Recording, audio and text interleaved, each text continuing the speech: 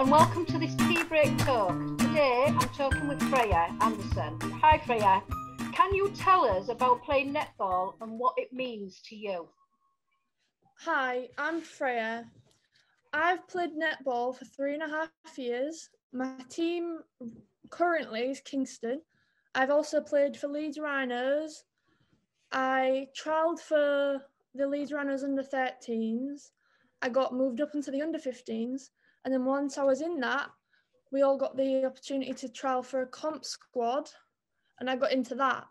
And that was amazing to me because I was so young and I didn't really have much experience, but I was amazed.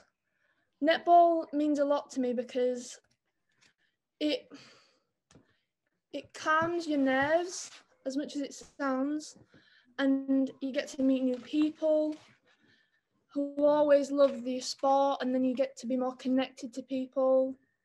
It's just an amazing opportunity and it brings people together. But you're very young aren't you uh, to be doing all this? Yes. what challenges do you think you face by being so young and doing such a professional sport? It's I think it's the nerves with being with older people whilst you're playing, because then you think you're not going to be as good as them, but it's never the case because it's not about age, it's about talent and what you achieve.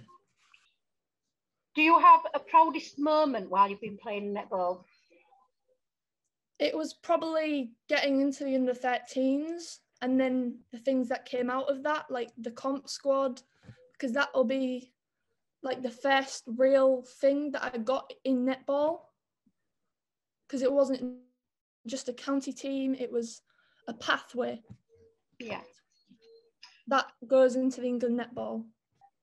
So if you could change one thing, like what your aspirations are, what would they be for the future? Would you want to change anything?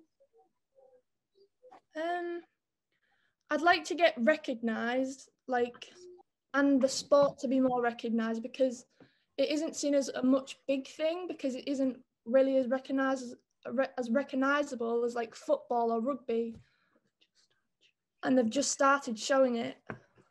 Is this for it more as a a, a women's sport? You'd like it to be more recognised as a, a women's sport more, or you'd like it to be just recognised more as a sport? Yes, and both.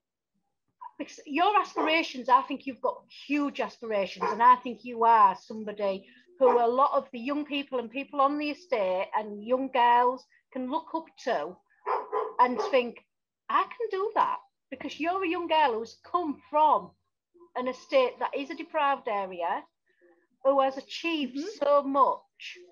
And I think that is amazing. So for me, is there anything you could give another young girl and say what you could say to them? It's never about where you come from, it's how hard you work. You want to be. Never be embarrassed where you come from because it makes you who you are.